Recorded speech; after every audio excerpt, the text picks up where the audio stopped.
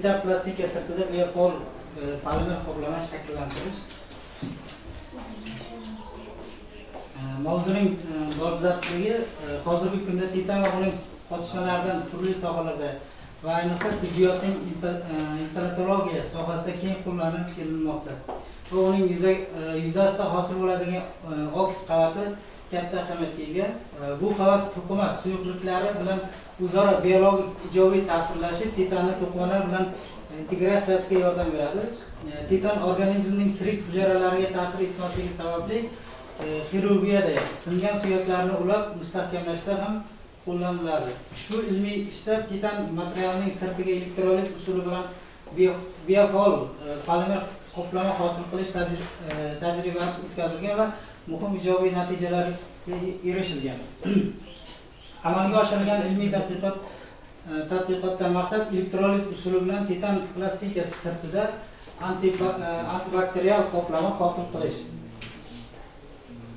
Xo'p, e, tadqiqot obyekti sifatida bu yerda fibran hamda uch kalsiy fosfat tanlab olindi. fibran oksil molekulasi tarkibida amino va karboksil guruhlari guruhlari mavjud. Bo'lishi unda asos va kislota xossalariga e, ega bo'lishini ta'minlaydi. Fibroin oksil molekulasini e, kimyoviy formulasi quyida keltirilgan. Umumiy formula mos keladi. Bu u tipik oksil moddalar va e, aminokislotalarga xos xususiyatlarni namoyon qiladi. ho'p tadqiqot usuli bu yerda o'sha tadqiqot olib borilgan qurilmamizni rasmi keltirilgan. Xo'p. Elektr kuchlari ta'sirida suyuqlikdagi ionlar va makroionlarni qutblar elektrodlar tomon siljish ularni musbat va manfiy balandligi radiuslari e, o'lchamiga, zaryadi va zaryadlar soniga, elektr maydon kuchlanganligiga, harorat haroratiga va qovushqoqligiga uzviy ravishda bog'liq. Xo'p, biz bilamizki, elektroliz jarayonida e, ikkita kuch e, paydo bo'ladi. Bu ikkita kuchimiz elektr e, kuchi hamda stoks kuchlari. Bu kuchlar e, uzviy muvozanatda deb qaraydigan bo'lsak, bu yerda makronlarning siljish siljishini topishimiz mumkin. Bu makronlarni siljish formulasi bo'ladi. Xo'p, tadqiqot natijasida olib borilganda xo'p 20 millilitr juvonlik kislotasi hamda 5-6 gramm fibroin e, e, hamda 0.5 yoki 1 gramm suvda erigan trikalsiy e, fosfat ya'ni 3 fos 3 3 kalsiy fosfat solinib laboratoriya o'rganilganda o'rganilganda. Э, o'sha э, titan plastinkalari э, qoplamalarida 36 dan 71 e, mikro metrgacha e, mikrometrgacha e, sof o'sha titan qoplamasini olishimiz mumkin. Bunda keyingi slaydimiz o'tkazing. Bunda o'sha ana titan sirtidagi 3 kalsiy qancha xitozan nanokapazitlarini diagrammalar hamda rasm keltirilgan. Bu Zeiss mikroskopida tasvirga olingan. E, uchtasi bunda birinchisida faqat titan spektri keltirilgan, ikkinchisida uch kalsiy fosfat faqat o'zi, e, to'rtinchi chizmamizda uch kalsiy fosfat hamda e, o'sha titan aralashmasining diagrammalari keltirilgan spektrlari. O'sha biz e, ko'rishimiz mumkinki, o'sha titan sof titanni o'zini e, uchratishimiz qiyin. Bu o'sha titanni e, bundagi ulushi 96.2 foizda va qolgan qolganlari esa mana alyuminiy, magniy hamda kalsiy moddalari uchrashini kuzatishimiz mumkin va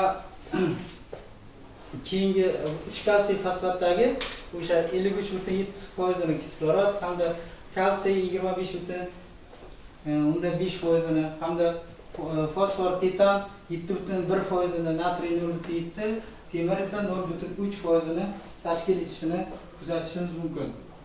Va oxiridagi o'sha uch kalsiy fosfat hamda titan aralashmasini spektrini kuzatayotgan bo'lsak uni tarkibidagi eng katta foizni bizda kislorod ikkinchi o'rinda o'sha titan hamda e, keyingi o'rinlarda kalsiy uglerod e, fosfat alyuminiy va e, shu kabi shu kabi ayrim e, moddalarimiz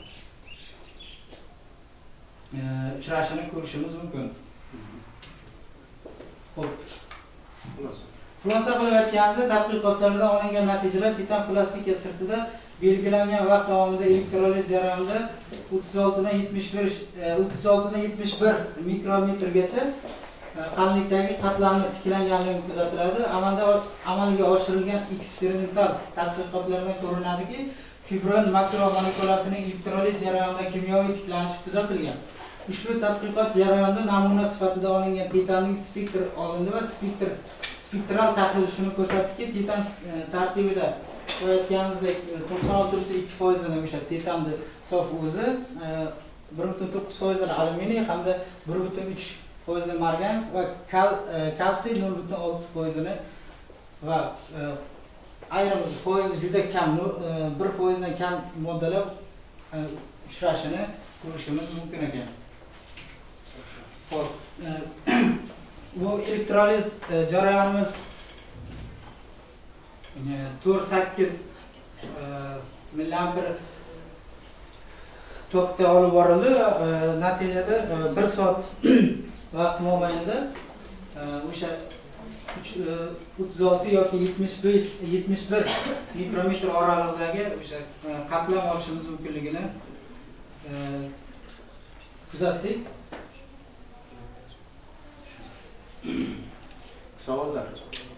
Savollar yo'q. Ana shu savollar mana moddalar turibdi mana alyuminiy, magniy, ne, margans, Margans va kalsiy. kalsiyalar ishlab mana shu. Bular qayerdan paydo qoldi?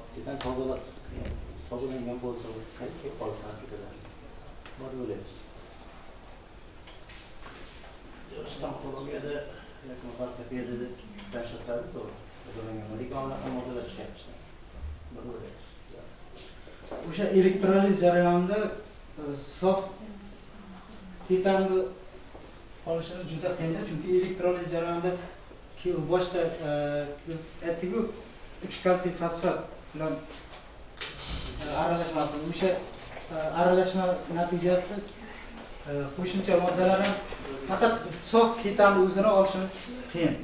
Shuning uchun Nimani o'zida kalsiy fosfat nima moslashtiryapsizda hozir bu yerda? Bilan tiklash kerak sirtda, to'g'rimi?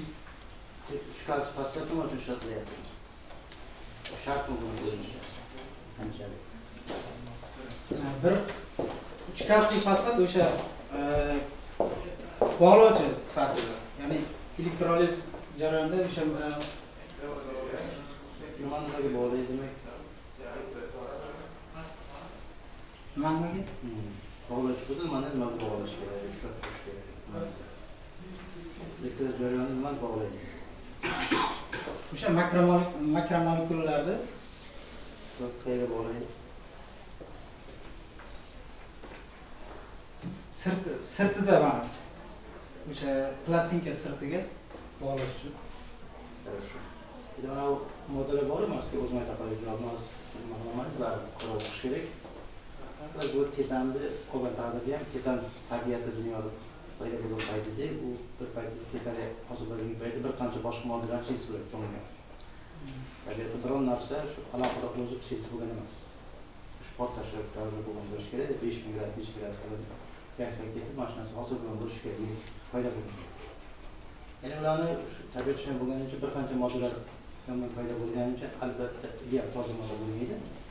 Tozagan taqdirda ham baribir o'zini batmoy shu qonun uni bilan xosliklar ichkarisida atomlar mana shu birga bo'lgan pastda ham shu ma'lum bo'ladi baribir saqlanib qoladi. Tapusumiy narsasi bor, metall to'qsondan oltmish to'qson to'qson olti klasse. Lekin albatta to'qson protsent bo'lishi ham даже sakson protsent titani ishlasa bo'ladi stomatologiya bu elementlar prinsipi jiddiy ta'sir ko'rsatmaydi stomatolog gapirib qo'ydi kalsiy qolsa foydasi bor alyuminium stipel baribir dish plat tozalash tozalash masalasidan ko'ra mashg'ulotni ishlatsa bo'ladi isbotlangan keksa oltinda o'rgan yo'q keksa absolyut tozalash narsani sog'lik bo'lsa marhamat